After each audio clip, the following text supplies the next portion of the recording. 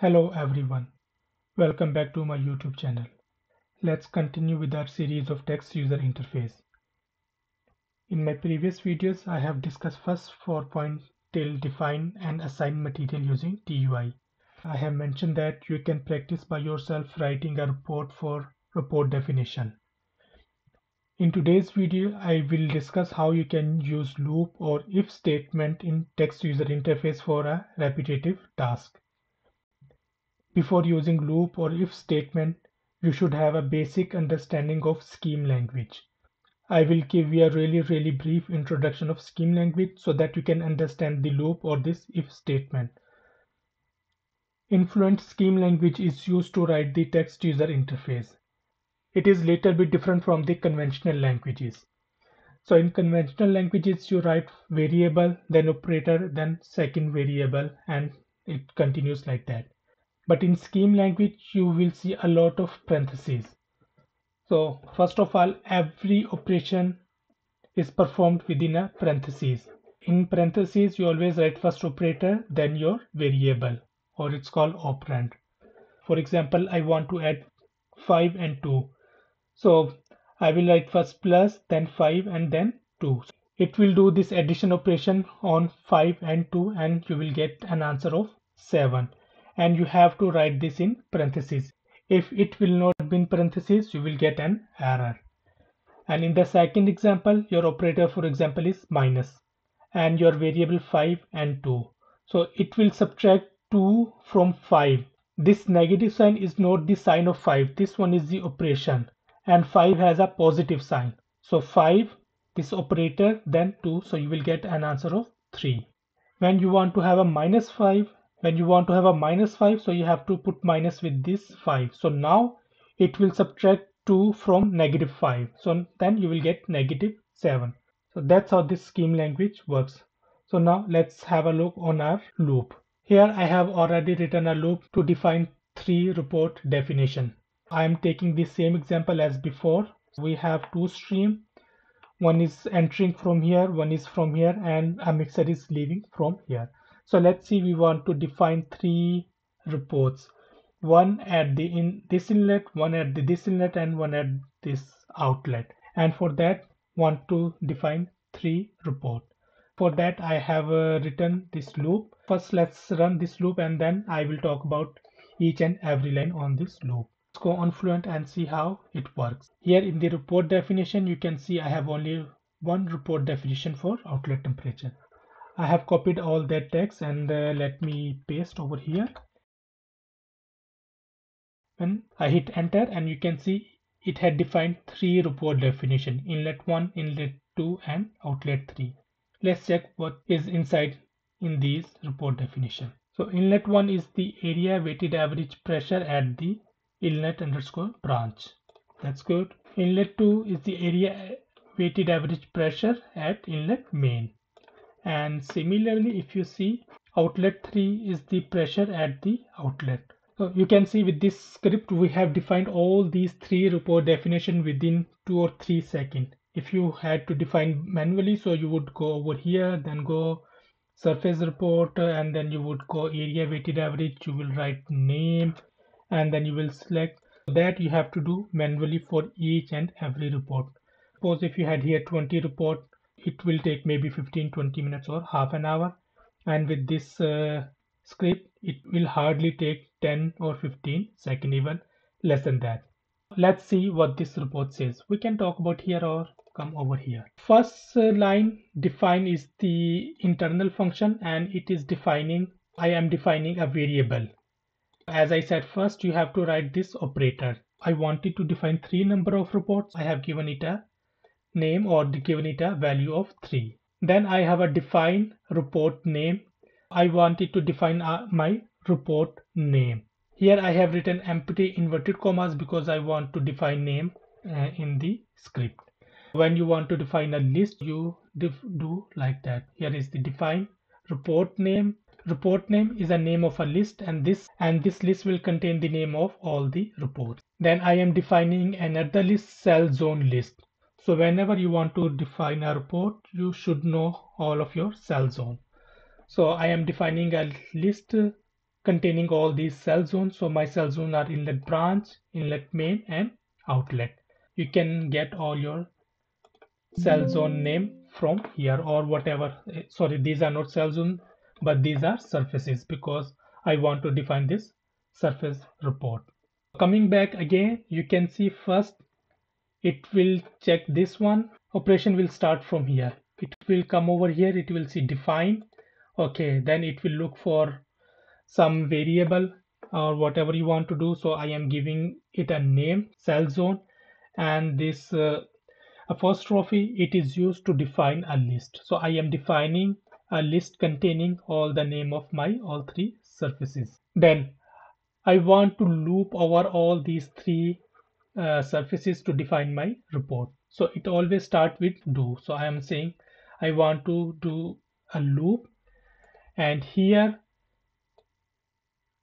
here I am defining a loop iteration. Here c is the variable name. It could be anything nxc so it will be just the loop counter.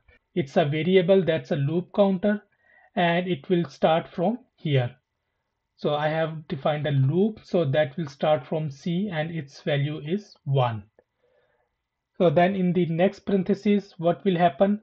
And there will be an increment plus in the c by 1 so first loop will start with 1 then it will come back. It, it will add 1 in the c then it will be 2 and it will continue. So up till when it will continue then it says greater than c when c will be greater than number of reports have how many number of reports? 3 c will be 1 2 3 then it will come back over here. It will check c will be 4 and number of reports 3 now c is greater than number of reports so it will stop. So it means this loop will continue for three iteration. If I will write over here 10 so it will continue for 10 iteration. I think this line is clear. Now I just added this one uh, you don't need to add this one instead of adding this if loop you could do other way around. So we will check how you could do. So but what I am doing here I am just want to define my report names. I'm saying if c is less than 3 when c is less than 3 you don't need to write over here.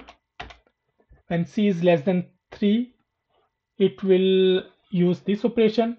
Otherwise it will continue with this operation it is starting a statement or starting a loop set so set is uh, just to define something or setting a name or anything so you want to set something so here i had defined this set and report name so I am setting the name in the list in my report, which I have defined over here, report name.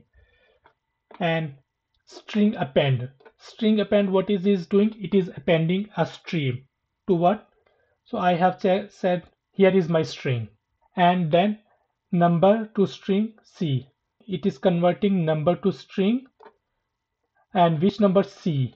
C, we have a number which is coming over here and this operation so it will start from here what this bracket will do it will convert c into a string so see we had a number and this operation is converting number into strings here we will get a 1 as a string then this bracket will finish this one and this one. Let me write over here. Then we will left with this bracket. Just let me make it uh, over here. And it will convert into 1 and 1 will be a string. As I said this or this one will convert C into a string of 1 and then the second operation will start. String append it will append these two streams so it will become inlet underscore 1 so now you get this string so here it is setting so your report name it is becoming this inlet 1 now your report had one entry for c is equal to 1 then it will not calculate this one because it will be calculated once the c will be greater than 2 then here we have a defined zone name so here we had defined the list but uh, from this list we want to pick one entry in each loop. So we do this one through this line. List reference so we are referencing a list. Which list? Cell zone list. So we are referencing this list. And this one is defining the location. Plus C minus 1. In first loop, C is 1 and minus 1 is 0. Indices will start from 0, 1 and 2. When in first loop, list reference will pick a value from cell zone list which will be at 0 index. That's how we are defining our zone name. So it means in first loop we have defined our inlet which will be inlet 1 and we are picking first entry from this one which will be inlet branch. And then here comes our command. So I am not going into the detail of this command because this command you can write by yourself by following my previous video. It is uh, similar as we did before. But here are few things in this command. Here I have written uh, this sign with a. This one is used as a placeholder. This one and this one. So it means I am not giving its value over here, but this value is given at the end after comma. Uh, sorry, after this inverted commas. So it means this one is the placeholder. It will execute this entire command and it knows I have a placeholder one over here and one placeholder here. So first placeholder will take first variable. Second placeholder will take second variable. And the first variable is the zone name. Sorry, report name. Report name we have defined over here. That would be inlet 1. And the second placeholder, that is the zone name. And zone name we have defined over here. That will be at 0 index. And that will be our inlet branch. And then we have over here comma comma is used when you know when we are writing some commands so sometimes we hit enter or we accept the default condition so this comma is used to accept the default condition and this one this entire thing this one is used just to write this entire command in a single line as a string. One is the just formatting. There is nothing special. It's just a way of writing this entire command. Formatting and uh, it is text interface menu load string. So it is loading this entire string. It means it will define all these one and it will come over here solve report definition add so this entire command will be executed. It need report name. Oh sorry here is a placeholder. This placeholder equivalent to report name. And report name i have told you how it will come over here in this one. And similarly zone name that will come from here. And as I said before you don't need to do this loop for that. Uh, you can do in the similar way uh, for that for example uh, you don't need to do this one and uh, you don't need to do this entire thing. Yes so you can define let's say another list but that will be your port uh, definition list. And let's say you want to give them the same name or you can use whatever name. So let's keep same name. And then you have to pick one entry in each loop from this report definition list. So i'm just copy pasting this one. Define zone name. And here i will use ah, here I have to give this name. Let's call them report name because I have used that variable. Report name because here this variable is this one. List reference. We are referencing this list. And I can reference this list. And that's it. We are good to go. So let's try this one. Before that I have to delete uh, no I don't need to delete because now I'm using different name. So remember if uh, you have the report definition with the same name so you will get an error. And here I have used different name so I don't need to delete. So let me copy all these. And I can paste over here and hit enter and you can see it had it has defined these three inlet branch inlet main and outlet so that's how you can use loop or if statement in your text user interface. I hope it was clear and useful and if you have any question or anything doesn't make sense so you can always leave a comment below. I would be happy to help. And that's it for today. Thank you so much for watching and see you in the next video.